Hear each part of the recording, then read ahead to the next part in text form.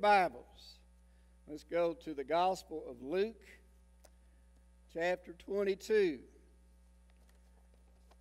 We are going to observe the Lord's Supper tonight, so we're going to go to Luke's account of the, the instituting of the Lord's Supper when Christ was here on earth. Luke 22, verse 19 and 20 is the record of that account. It says he took bread, gave thanks, and brake it, gave it unto them, saying, This is my body, which is given for you. This do in remembrance of me. Likewise, also the cup after supper, saying, This cup is the New Testament in my blood, which is shed for you. So we're going to reenact that tonight as we observe the Lord's Supper in a few moments. But to kind of prepare you for this, we're going to drop down and notice something that happened after they observed that first Lord's Supper. Because this is something that could happen to any of us. Drop down to verse 24. And there was also strife among them, which of them should be accounted the greatest. That's talking about when Christ ushered in his millennial kingdom, what positions they would have in his kingdom. They were arguing about who would have the higher position. This is right after they take the Lord's Supper, by the way. Verse 25 Jesus said unto them, The kings of the Gentiles exercise lordship over them. They that exercise authority upon them are called benefactors. But ye shall not be so. But he that is greatest among you, let him be as the younger, and he that is chief as he that doth serve. For whether is greater, he that sitteth at meat, or he that serveth? Is not he that sitteth at meat at the table? But I am among you as he that serveth. Ye are they which have continued with me in my temptations, and I appoint unto you a kingdom as my Father hath appointed unto me. And he drops down to verse 31. And the Lord said unto Simon, Simon Peter, Simon, behold, Satan hath desired to have you, that he may sift you as wheat. But I prayed for thee, that thy faith fail not. And when thou art converted, strengthen thy brethren. And he, Peter, said unto him, Lord, I'm ready to go with thee both to prison and to death. And Jesus said, I tell thee, Peter, the cock, the rooster shall not crow this day before that thou shalt thrice deny that thou knowest me. Before the rooster crows, Peter, three times you will deny you even know me. This was right after they observed the Lord's Supper. This could happen to any of us this week. After observing the Lord's Supper and, and enjoying a very spiritual time together, we can go out in the world and do the same thing Peter did. Peter was sifted by the devil. And what happened to him is a great lesson for us. Peter had just heard Jesus tell them how that they are going to reign with him in the millennial kingdom, sitting on thrones. That's pretty heady stuff, folks. Then, right after this, he says, By the way, Peter, Satan's after you. And before the rooster crows in the morning, you will deny me three times. How do you think Peter felt when he heard that? I mean, one minute he's a hero, and the next moment he's a zero. I mean, one moment he's on a throne reigning with Christ, and the next he's denying. He even knows the Lord. I believe what happened to Peter surprised him. You ever do things that surprise even you? You ever fail as a Christian? You ever fail with your testimony and later you're surprised at what you did or said? Didn't even believe that you were capable of such a thing. Satan desired to sift Peter. And I got news for you. Satan also desires to sift you.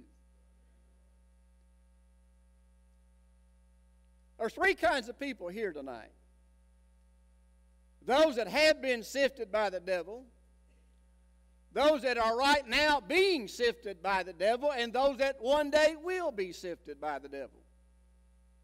You might be in all three. It's happened in the past, it's happening now, and it will happen in the future. Satan wishes to destroy your testimony. By the way, sifting is good for wheat.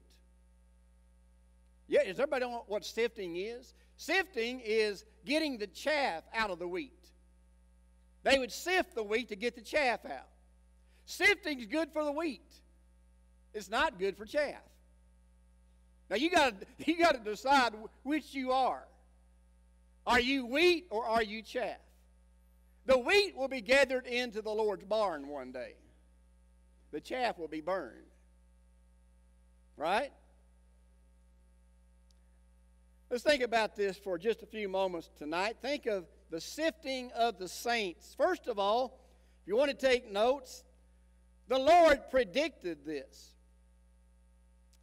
The prediction Jesus made concerning Peter's failure was, was pretty grim. Satan's after Peter to sift him, and he's after us tonight. It's his desire to turn you inside out. It's his desire to turn you every which way but loose. He wants to destroy your Christian testimony. But the Lord shows us how to avoid that, how to overcome the works of the devil. Hey, you don't have to fail. Amen? You don't have to falter. You can be victorious. The Bible says in 2 Corinthians chapter 2 verse 9 and 11, "For to this end also did I write, that I might know the proof of you, you Christians there in Corinth, whether ye be obedient in all things. Then, verse 11, lest Satan should get advantage of us, for we are not ignorant of his devices. Well, at least you shouldn't be.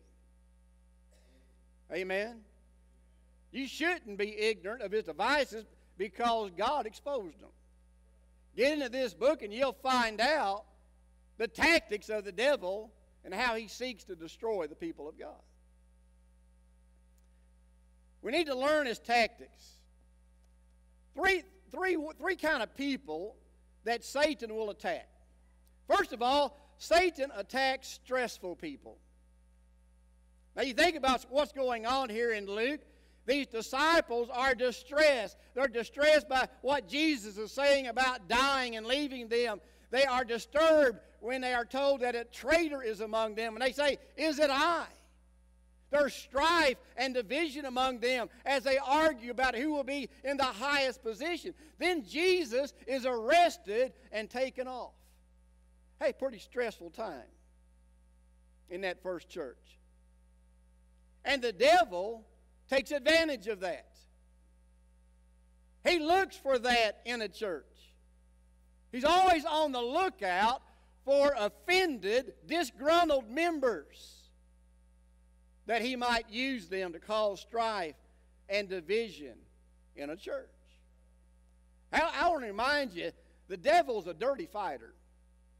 I mean, he'll kick you when you're down, he'll attack you at your weakest, when things are not going well at home, when things are not going well at work, or whatever.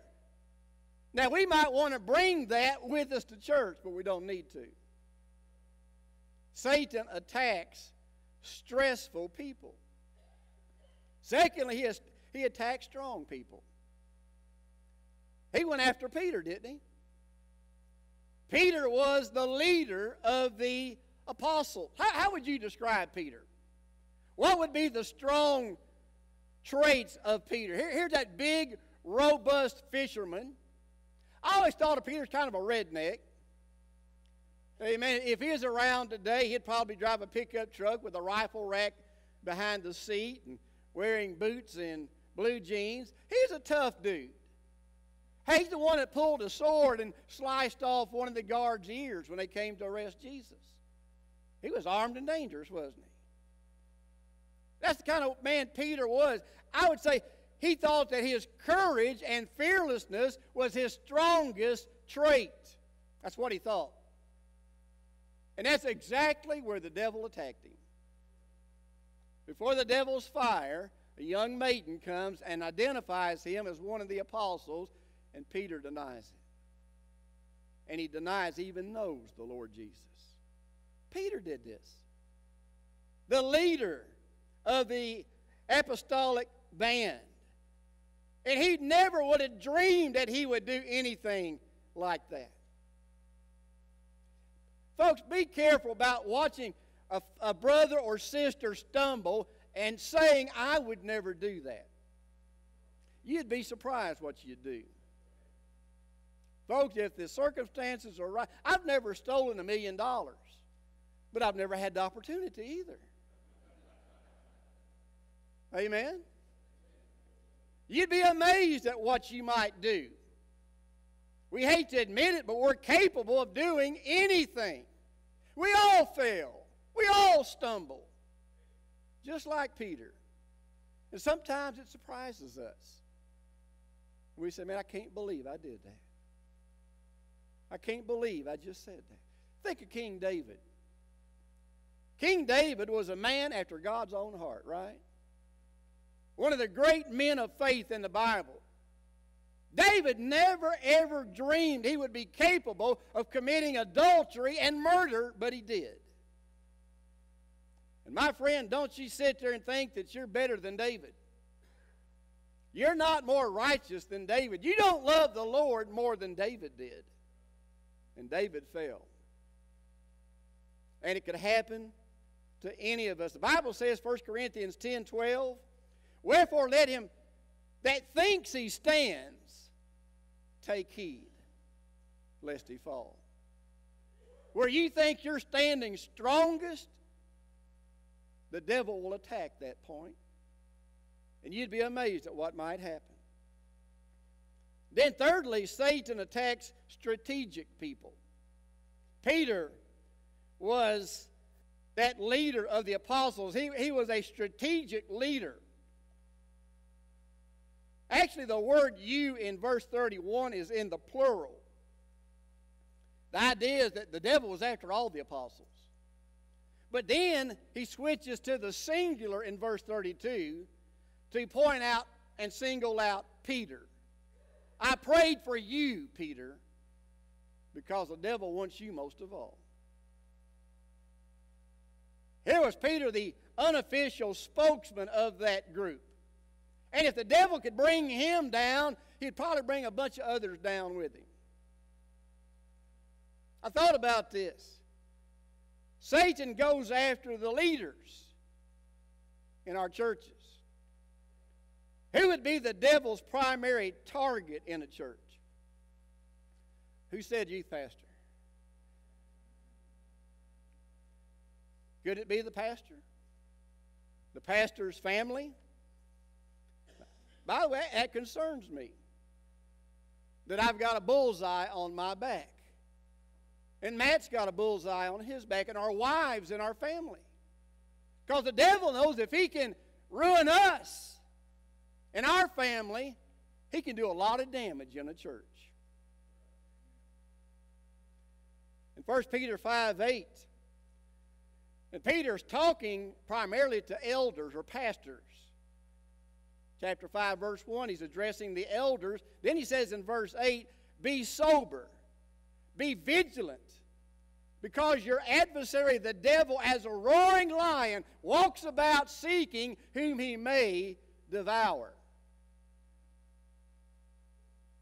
He's telling the elders, You be vigilant. The devil is after you. Y'all need to pray for me and Brother Matt. You need to pray for our family need to pray for my wife and my granddaughter. The devil's after them. The devil, there's nothing more, Shelby, the devil would like to do than to destroy your testimony. Or my testimony, or Betty's testimony, or Matt and Kara's testimony. Right? Am I wrong here? All you need to pray for us. Because we're the main targets. He desires to sift us as wheat. Other leaders in the church, our deacons, our directors, our teachers. Jesus prayed for the apostles. We need to pray for our leaders.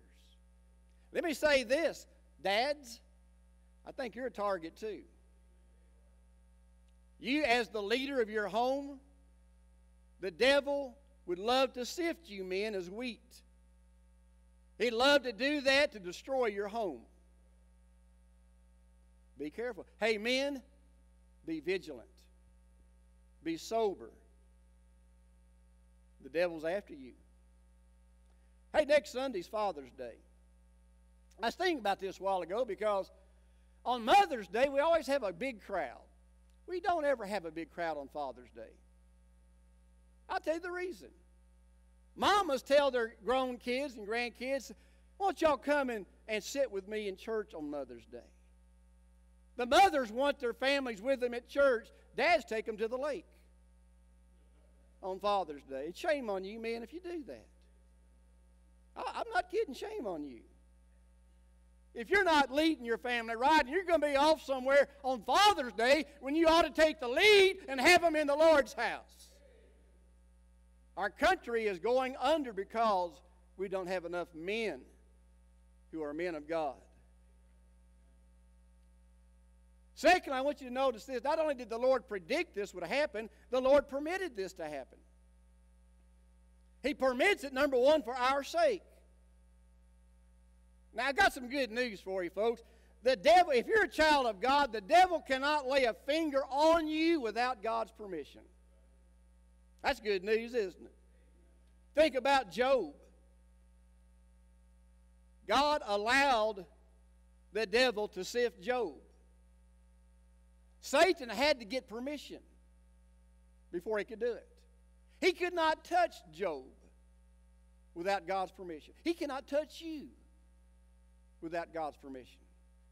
That's good news, isn't it? The bad news is sometimes God permits it. Now, think about this. God allowed Satan, gave him permission to sift Peter. I wouldn't do that. If the devil came and wanted my permission to sift any of you, I'd say, no. You're, you're welcome. No, you can't sift him or her. Now, does that mean I love you more than Jesus?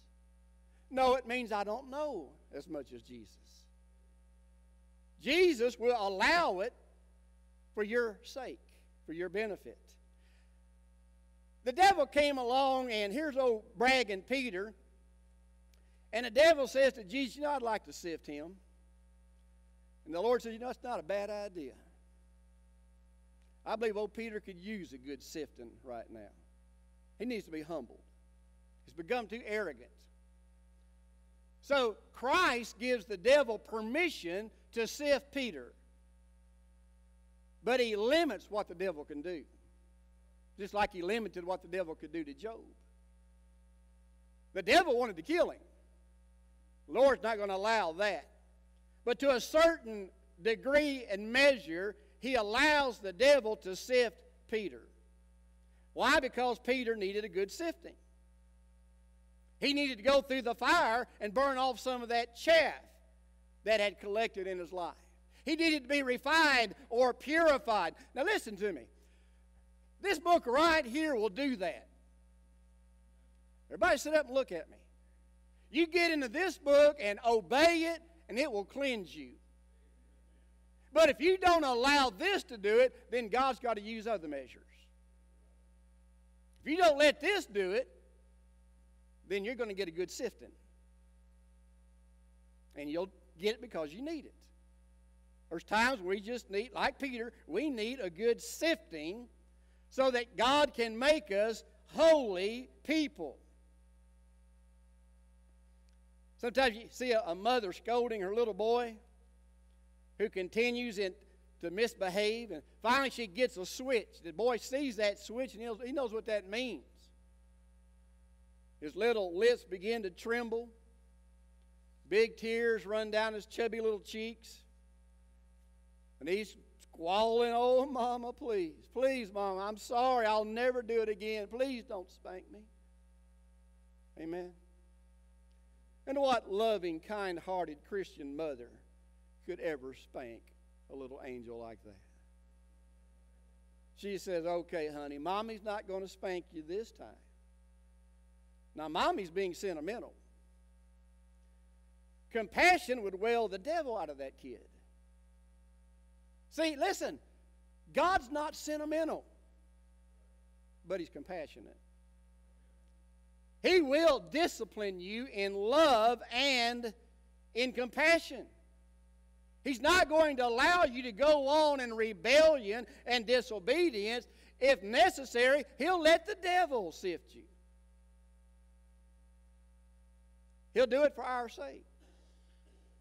Secondly, He'll do it for the sake of others. He'll do it for others' sake. He said to Peter, verse 32, When thou art converted, strengthen thy brethren. It doesn't mean, Peter, you need to get saved. Peter's already saved. But he needed a different kind of conversion to get back into the will of God where God can use him. And when you have gone through this and been strengthened, then I want you to help your brethren and strengthen them. That experience would help Peter down the line. It'd help him to minister to others that are going through a hard time. Are you going through a hard time? Let me remind you of a couple promises that God has made. Romans 8 28. We know that all things work together for good to them that love God, to them who are the called according to his purpose. Whatever you're going through, God can take that and turn it for good. Probably use it to bless others. Also, 1 Corinthians 10 13 says, There hath no temptation taken you, but such as is common to man, but God is faithful, who will not suffer you to be tempted above that you're able, but with the temptation also will make a way of escape that you may be able to bear it. So that's a promise. God said, I will not put more on you than you're able to bear. He's going to limit what comes your way. Sometimes we go through difficulties, we go through trials and tribulations, and we come through it stronger on the other side, and in doing so, we can help others when they go through those hard times. Amen? Then, final thought is the Lord protects us in it. Jesus told Peter, I prayed for thee. Isn't that comforting to know that the Lord, our high priest, intercedes for us in heaven? How would you feel if you knew Jesus was in the other room praying for you? Wouldn't that give you a good feeling. The, the Lord Jesus is in there praying for me. He's up there praying for you. He is our intercessor, He is our mediator between God and man. Remember this.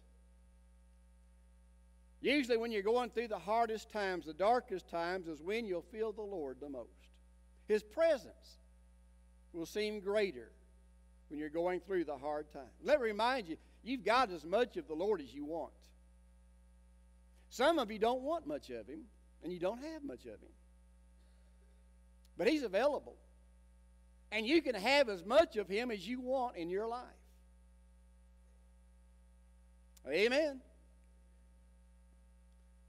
Let me close with this verse Hebrews 4 15 and 16. Talking about that high priest we have interceding on our behalf in heaven. He said, For we have not a high priest which cannot be touched with the feeling of our infirmities, but was in all points tempted like as we are, yet without sin. Let us therefore come boldly to the throne of grace, that we may obtain mercy and find grace to help in time of need. Our Lord has already been down that dark, lonesome path we're traveling, and He'll lead us through. Before we take the Lord's Supper tonight, we're going to have an invitation. I'm ask Brother Sam and the pianist to come. The Bible says that the Lord knows them that are His. He will chasten and discipline His own. Now, I want to ask you this do you belong to the Lord? Have you given your life and soul to Him as your Savior? Do you remember a time when you repented of your sins and asked the Lord Jesus Christ to come into your life? You placed your eternal destiny in His hands? Listen, if you need to be saved, we'd like to invite you to come and receive Christ today as your Savior.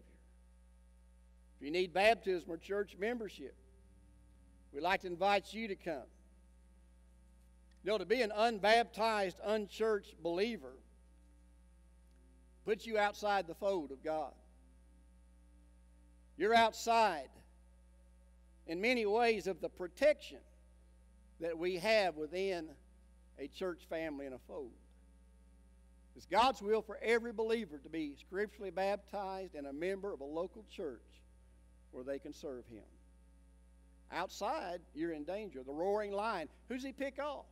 He picks off those on the outside that are outside the fold, that don't have a shepherd, that don't have a, a flock to assemble with.